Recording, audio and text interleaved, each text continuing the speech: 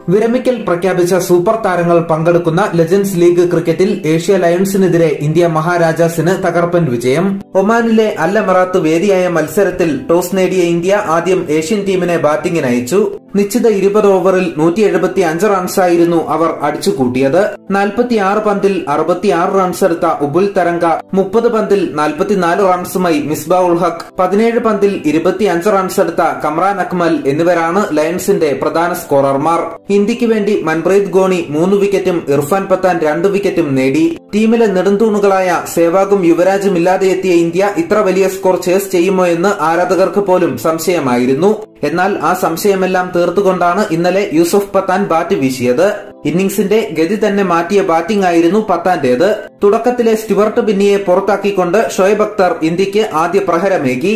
പിന്നാലെ എസ് ബദ്രിനാഥ് സംപൂജ്യനായും നമാനോജ ഇരുപത് റൺസിനും പുറത്തായതോടെ ഇന്ത്യ മുപ്പത്തിനാലിന് മൂന്ന് വിക്കറ്റ് എന്ന നിലയിലേക്ക് വീണു. എന്നാൽ പിന്നീട് ക്രീസിൽ ഒരുമിച്ച യൂസഫ് പത്താൻ മുഹമ്മദ് കൈഫ് സഖ്യം സെഞ്ചുറി കൂട്ടുകെട്ടുമായി ഇന്ത്യയെ മുന്നോട്ട് നയിച്ചു. നാൽപ്പത് പന്തിൽ എൺപത് റൺസായിരുന്നു പത്താൻ അടിച്ചുകൂട്ടിയത്. തന്റെ പ്രതാപകാലത്തെ അനുസ്മരിപ്പിക്കുന്ന ബാറ്റിംഗ് ആയിരുന്നു പത്താന്റേത്. ഒൻപത് ബൗണ്ടറിയും അഞ്ച് സിക്സറും അടിച്ച പത്താൻ ഒടുവിൽ റണ്ണൌട്ടായാണ് പുറത്തായത്. പിന്നീടെത്തിയ ഇർഫാൻ പത്താന് ഫിനിഷിംഗിന്റെ ചുമതല മാത്രമാണ് ഉണ്ടായിരുന്നത്. പത്ത് പന്തിൽ ഇരുപത്തിയൊന്ന് റൺസുമായി പത്താൻ അത് ഭംഗിയായി പൂർത്തിയാക്കി.